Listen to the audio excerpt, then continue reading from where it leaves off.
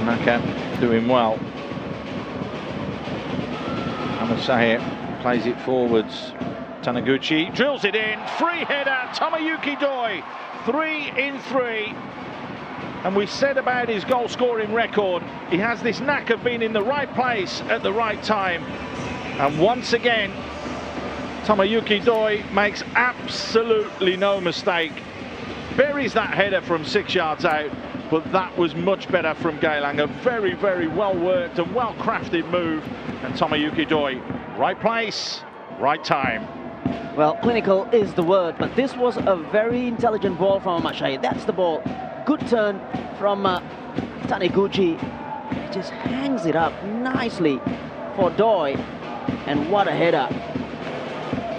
Travis again, a little bit central, the ball that went in, but beaten by the power as well. What a ball this was from Taniguchi as well. Doi makes no mistake. It's 3-0. More comfortable now for Geylang.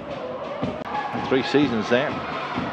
Clips this one in. It's dangerous. They don't attack the ball. No one attacks it in the end. It's Tomoyuki Doi who does, who pokes it home for his second and his fourth in three games. Poor, poor defending from the Young Lions. They had the opportunity to deal with that, but they didn't. And they've paid the price. And it's a three-goal advantage now, yet again, for Geylang. Surely this is their turning point of the season. Yeah, they just couldn't defend from that corner. First ball, second ball as well, as well, and the ball just dropped in, just in front of the goalkeeper as well. But uh, Doi makes no mistake here. That, that's the first header, the second one as well.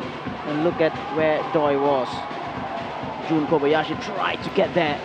He was there on the spot, sniffing out. Just a goal poacher, Doi. Is it going to be another golden season?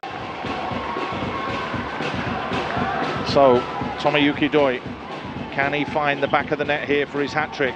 Is Tomoyuki Doi! It's hat-trick time! He makes absolutely no mistake.